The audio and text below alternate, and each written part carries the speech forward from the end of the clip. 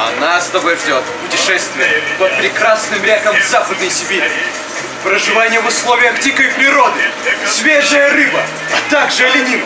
Спектакль рассказывает историю жизни и подвига геолога Фармана Салманова. Невзирая на запреты руководства, он на свой страх и риск переправляет нефтеразведку из Кемерово в Сургут, чтобы доказать, что нефть в Западной Сибири есть. Я пробурю там все, но обещаю, что найду самые большие месторождения. Или уволюсь. Инициаторы проекта – Тюменская общественная организация Объединения народов Азербайджана. Спектакль иммерсивный, что позволяет зрителю ощутить себя частью постановки.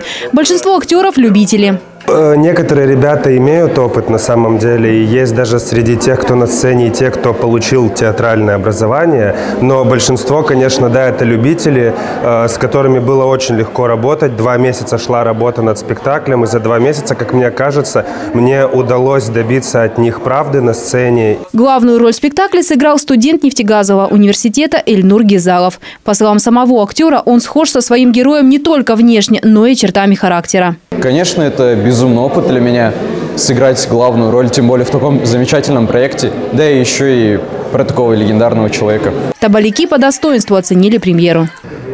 Похоже, правда, он Фарман Курбановича. Впечатления, конечно, положительные. Э, как говорится, страна должна знать своих героев. То есть один человек э, может повлиять на целое общество. Впечатление отличное.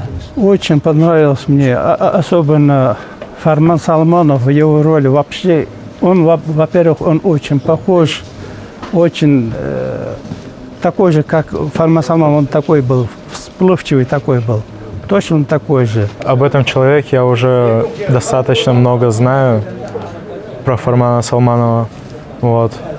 Сегодня все прошло отлично, я считаю, даже успешно. Мне все понравилось. Спектакль о герое социалистического труда покажут не только в Тобольске. У организаторов есть идеи на создание и других подобных проектов. Тюмень, Тобольск, Сургут, а, ну это вот территории, где он работал, и мы хотим на этих территориях показать спектакль. То есть потому что книги, фильмы, это все хорошо, но именно вот этот новый формат спектакля, новый формат спектакля, это я считаю, что хороший вариант нести информацию. Не только можно про Фармана Салманова, много сейчас даже вот про добровольцев, которые в Донбассе. Следующий показ спектакля состоится 2 декабря в Тюмени. Наталья Китова, Рустам Рузеев, Тобольское время.